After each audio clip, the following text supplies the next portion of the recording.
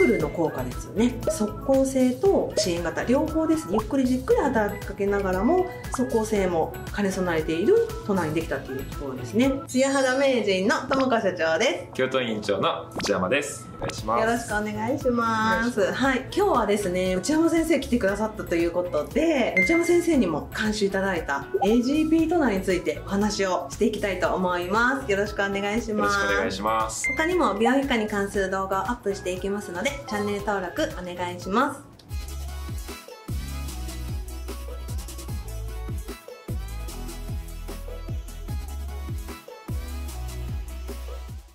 この AGB トナー開発秘話なんですけど内山先生とね一緒に話したかったんですよ。そもそもエルムピールっていうグリコール酸とアズライ酸入ってる院内処方で出してる化粧品実はあったんですよね。それがまあかなり濃度が低かったんですよね。で効果効能をもう少し高めたいっていうことでパワーアップしたのが AGB トナーになってます。でリニューアルするタイミングで内山先生もそういうのを作りたいと思っていらっしゃったのでぜひ監修していただいていいものを作りましょうっていうことで始まりましたよね。そうですね。はい。はい。もう大変でしたよね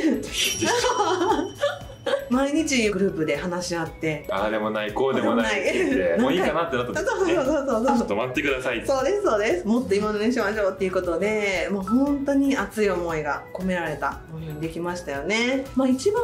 あの大変だったのが、うん。アゼライさんが輸入製だったっていうところですよね。そうですね、うん。そこが一番大きいですよね。結構巷に出てるのはクリームタイプうん。のアゼラインさんのクリームが結構出ていて、はい。やっぱりそれだとニキビでねお悩みの方ってやっぱりそもそも油分が多いものって、まあ、良くないっていうわけではないんですけどそれよりもやっぱり水溶性の水分の多いものをつけていただきたいっていう思いがあってトナーとか化粧水したかったんですよね、うん。アゼライさんが油溶性だからなかなか難しかったですよね。でも結果15%っていうね、はい。高配合を実現したというところで、はい、体内の中で酵素で分解されてピュアゼライン酸に変換する誘導体っていうものにしたのでこの高配合が叶ったっていう感じですね。ダブルの効果ですよね。即効性と支援型両方です。ねゆっくりじっくり働きかけながらも即効性も兼ね備えているトナーにできたっていうところですね。あとあのゆうちろ先生好きなピオニン。どんな音か聞きたいです、ピオニンは若干この製品自体にもね少しこう黄色っぽいような色がついているんですけどもその色味を出しているものでして、うニキビの抗菌作用があるような成分になります、まあ、なんで好きかというとちょっと名前が可愛くて好きっていうぐらいですが、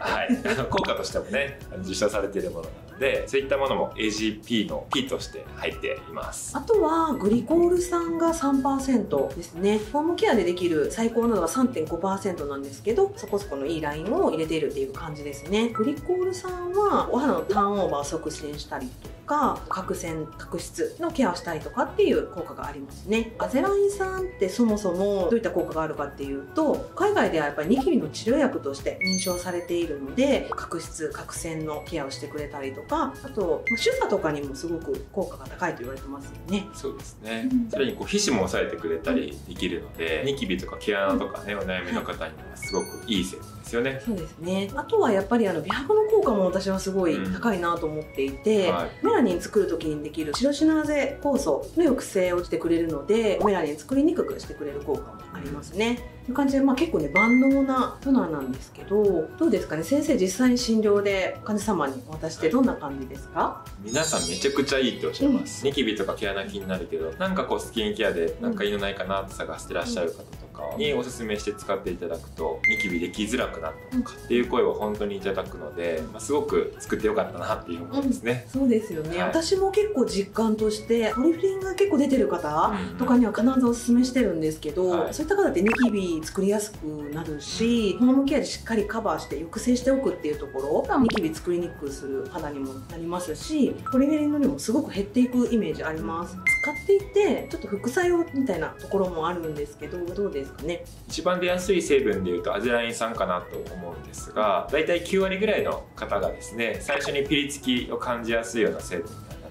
まあただですねこれは1ヶ月ぐらい使っていただくとまたまあ9割ぐらい改善したっていうようなデータが出ているものもあるので使っていくうちにね馴染んでいくようなものなので使いづらいとかアレルギーが出るとかっていう報告は今のところないのですごく安全に使いやすい成分ですし、まあ、ニキビ治療薬でいうと、まあ、保険診療だとリフェリンっていうねアダパレンというようなものもありますけれども、まあそういったものは妊婦さんとか授乳中の方使えないようなものになりですかこれはそういった制限もなく使えるので多少のピリつきはあるけれどいろんな方にね使っていただきやすい成分かなと思います。そうですね。うちのスタッフも使ってもらってて1ヶ月したらピリピリしなくなったっていうスタッフも結構いますね。であとは粉の後にちょっとピリピリしたらすぐにローションつけるとか、うん。まあ、そういった工夫もしていただきながら使えますよね。そうですね、この AGP トナーなんですけどうん。ともこさんとしてはどういった使い方がおすすめですか、一番効かせたいので洗顔後すぐ一番目に使っていただきたいですね。で肌質って本当に様々なのでその時のお肌質に合わせて一番適応の使い方をお勧めしているんですけど T ゾーンがすごくテカりやすいだったりとかそういった方は T ゾーンしっかり多めにあのコットンパックしていただく方もいらっしゃいますし中にはちょっと敏感だったりとかですね肌がちょっと乾燥していたりすると、まあ、夜だけ使ってくださいねっていう方もいらっしゃいます。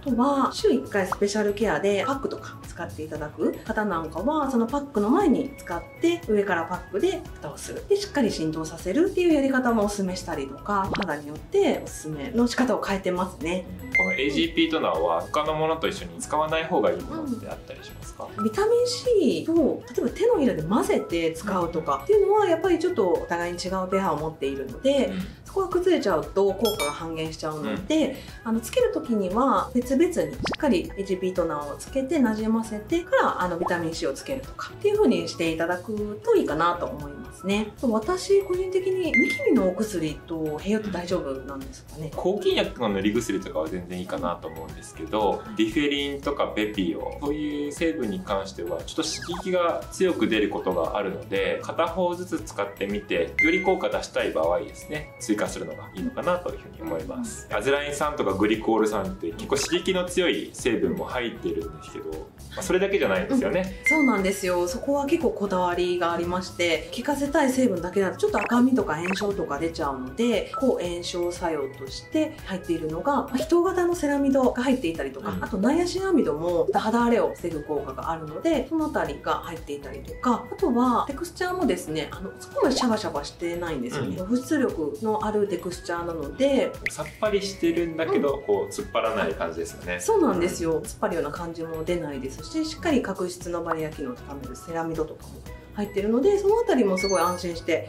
お使いいただけるポイントかなと思いますね。